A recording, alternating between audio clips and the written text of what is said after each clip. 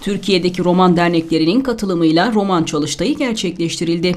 Programda konuşan AK Parti Kocaeli Milletvekili Mehmet Akif Yılmaz, roman çalıştayının Türkiye'ye örnek olduğunu söyledi. toplumumuza değer katacak çalışmalar ortaya koyma meselesindeki aşkına, devlet millet meselelerini sahiplenme noktasındaki o basiretine, ferasetine hayran.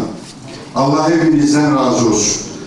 Daha güçlü bir Türkiye bırakabilmek için kafa yoracağız, çalışacağız.